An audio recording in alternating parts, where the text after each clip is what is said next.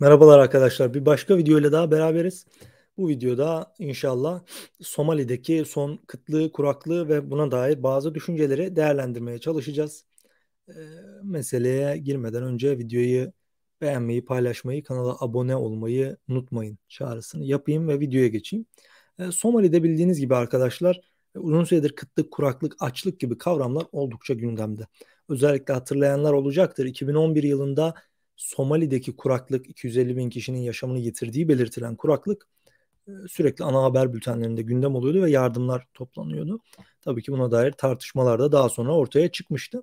E, bu kuraklığın e, esasen anlaşılabilir bir sebebi var. Dönemsel bir kuraklık bu. Yağışlar yeterince olmadığı zaman Somali'de kuraklık yaşanabiliyor. Tabii ki burada e, şunu düşünmek lazım. Dünyanın birçok ülkesinde benzer kuraklıklar dönem dönem olabiliyor. Özellikle Afrika ülkelerinde. Örneğin Somali'nin komşusu olan Etiyopya'da ve Kenya'da da şu anda e, kuraklık e, var. Peki neden sadece Somali'de bu kuraklık can alacak ve e, çok e, ulusal boyutta bir afet olacak boy, e, düzeye ulaşıyor? Burada tabii ki şunu e, söyleyebiliriz. Somali'de bir devlet yok. Somali'de bir devlet olmadığı için kuraklığa karşı, kıtlığa karşı gerekli düzenlemeler, gerekli gıda stoklamaları, gerekli e, insani yardımların dağıtılması gibi işler e, yapılamıyor.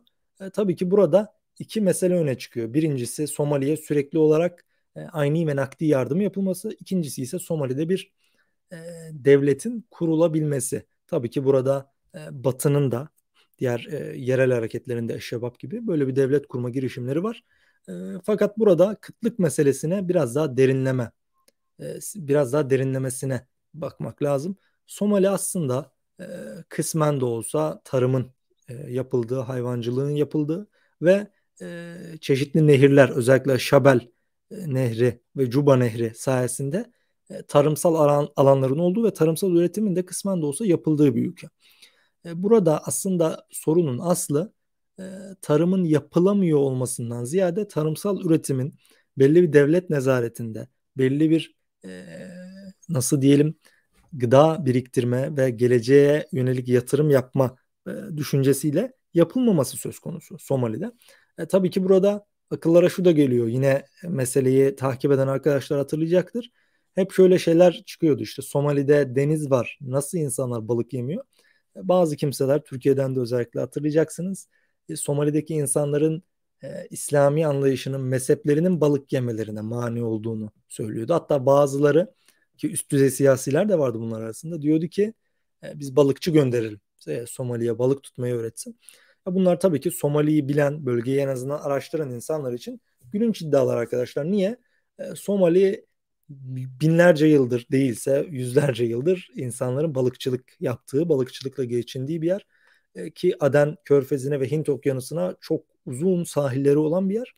Ve e, bölgedeki insanlarla veya bölgeye gidip gelen insanlarla teması olanlar bilecektir balıkların ve diğer deniz mahsullerinin envai çeşitli olduğu bir yer. Keza aynı şekilde Somali'nin ekseriyeti e, Şafii fıkhına müntesip. Şafii fıkhında da deniz mahsullerinin tüketilmesine dair herhangi bir kısıtlama, herhangi bir yasak söz konusu değil. Öyleyse ne e, deniz e, denizi kullanamamanın, denizin kullanılamamasının sebebi ne? Arkadaşlar burada temelde yatan sebep şu. Somali'nin denizinin birincisi yabancı ülkeler tarafından özellikle batılı ülkeler tarafından işgal altında tutuluyor olması ve buraya askeri üsler vesaire kurulması. İkinci mesele de Somali'de kurulan yönetim. Yani Somali'de kurulan e, yönetimde yolsuzluk, rüşvet öyle boyutlara ulaşmış durumda ki burada Somali'nin sahil şeridinde e, birilerine bir şeyler kazandırmadan tırnak içerisinde e, pek fazla balıkçılık şu bu faaliyetler yapmak mümkün değil. Yani bir, de, bir yerde tabii ki e, bir dış destekli hükümet kurulduğu zaman oradan belli başlı insanlar bu hükümetin içerisinde rol oynamak için seçiliyor. E tabii ki bunlar da çeşitli güç odaklarından e, insanlar oluyor. Somali'de de maalesef rüşvet ve yolsuzluk bu paralelde. Diğer ülkelerde gördüğümüz gibi işte Batı'nın işgal ettiği ve kukla yönetimler kurduğu diğer yerlerde olduğu gibi maalesef e, yaygın bir konumda rüşvet ve yolsuzluk. E tabii ki bu yüzden de Somali halkı e, ülkenin milli servetlerinden, yeraltı ve yerüstü kaynaklarından hak ettikleri derecede yararlanamıyor ve e, açlık, kıtlık, kuraklık burada içinden çıkılamaz bir sorun. İçinden çıkılamaz bir hal alıyor. Örneğin çekirge istilası farklı ülkelerde de oluyor.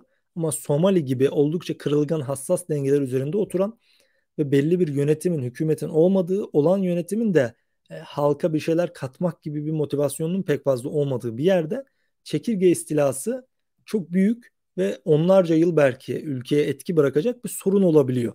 Ha, tabii ki sürekli buraya ülkenin kendini geçindiremeyecek e, derecede e, olmasına sebebiyet veren dış yardımlar yapılması da bazı olumsuzluklara sebep oluyor. Örneğin yardımların nakdi olarak yapılması ve bu nakdi yardımların e, azala azala bölgeye gitmesi. Yani işte 100 birim yardım yapılıyorsa bu e, başkentten çıktığında belli insanların cebine girdiği için 50 birime daha sonra bölgeye gidene kadar 25 birime 15-10 birime kadar düşebiliyor. Niye? Rüşvet ve yolsuzluk sebebiyle. Maalesef bu rüşvet ve yolsuzluk meselesi dünyanın birçok ülkesinde olduğu gibi Somali'de de içinden çıkılamaz bir kara delik oluşturmuş durumda özellikle bölgenin halkı için. E tabii ki bu da bölgedeki kıtlığı, kuraklığı besliyor. E, burada Somali'ye dair bakış açılarında hep şunu görüyoruz. Bu Afrika'ya ve diğer e, dünyadaki 3. dünya ülkeleri olarak tarif edilen Batılılarca e, tarif edilen ülkelere dair bakışın hep e, tırnak içinde beyaz adamın sömürgeci zihniyetini yansıttığını biz görüyoruz. Hatta e, o zihniyeti yansıtamıyor ve onun kötü bir taklidi olmaktan ibaret kalıyor. Ve ülkeye dair meseleler, Somali'ye dair ve diğer bölgelere dair meseleler tam olarak e, görülemiyor. İşte böyle komik yorumlar çıkıyor ne gibi? İşte Somali halkı İslami anlayışları yüzünden e, yüzünden balık yemiyor veya Somali halkı balık tutmayı bilmiyor gibi düşünceler ortaya çıkıyor. Oysa ki yani balık tutmayı e, ne Batılılar ne Doğulular e, icat etti. Bu balık tutmak insanın çok tabii ve fıtri bir refleksi geçmişten bugüne. E, oysa ki buradaki insanlar bunu ön plana sunarak şunu demiş oluyor ya Somali'de görülecek bir şey yok.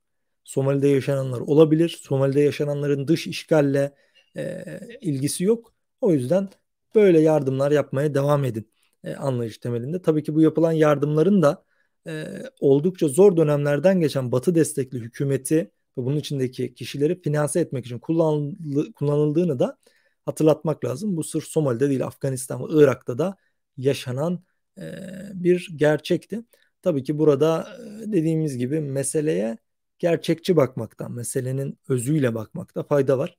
E, bu hükümetin yardımları nasıl dağıttığına bakmakta fayda var.